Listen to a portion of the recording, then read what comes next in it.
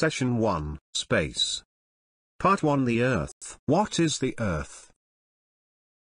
The Earth is one of the nine planets that continually circle the Sun, making up the solar system. It is the third planet out from the Sun, between Venus and Mars, and like them and Mercury, the planet nearest the Sun, it is a ball made largely of rock. What makes it special is the fact that its surface is two-thirds covered by water. It is also the only planet with oxygen in its atmosphere. Without water and oxygen, there would be no life. How was the Earth formed? No one is absolutely sure how the Earth began. But most astronomers think that about 5 billion years ago there was just a vast cloud of hot gas and dust circling around the newly formed Sun. The vast dark hot cloud of gases and dust around the Sun began to cool and the gas condensed into trillions of droplets. Slowly the droplets were pulled into clumps by gravity, and carried on clumping until the planets, including Earth, formed. Earth was just a fiery ball to start with, but it gradually cooled and a hard crust formed, and then an atmosphere. These clumps grew to form the planets. How far is Earth from the Sun? About 93 million miles, 150 million kilometer, on average, but it varies according to the time of year. Its closet, on January 3, is called the perihelion. The farthest point, on July 4, is called the aphelion. How long does the Earth take to turn?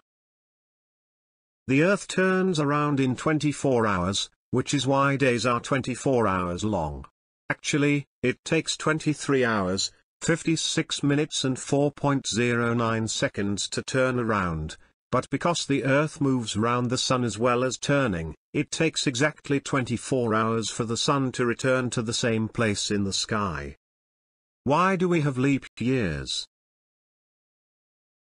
It takes the Earth just over 365 days to go round, which is why a year is 365 days. The journey actually takes 365. 242 days, not 365. To make up for the 0.242 days and keep the calendar in step with the Earth, we add an extra days to February every fourth year, the leap year. Even this does not make it quite right, so a leap year is left out at the end of three centuries out of four. Does the Earth tilt over? Yes, it spins round on a line between the poles called its axis. The axis is tilted over at 23.5 in relation to Sun. What causes the seasons? We get seasons because the Earth is always tilted over in the same direction. So when the Earth is on one side of the Sun, the northern hemisphere, the world north of the equator, is tilted toward the Sun, bringing summer here. When the Earth is on the other side of the Sun, the northern hemisphere is tilted away, bringing winter. The seasons are reversed in the south. Time to test yourself, there are five quiz, you will have five seconds for you to answer each. Are you ready?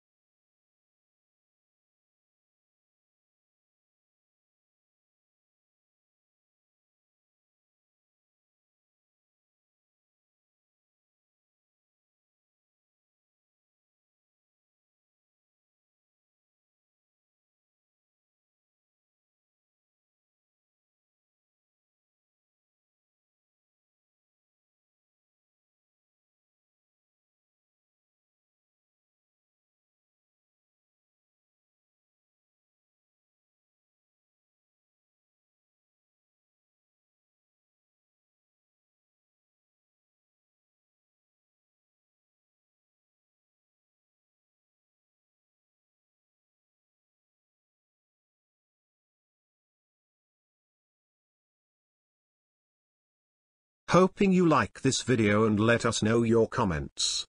Please give us a like and do subscribe for more videos.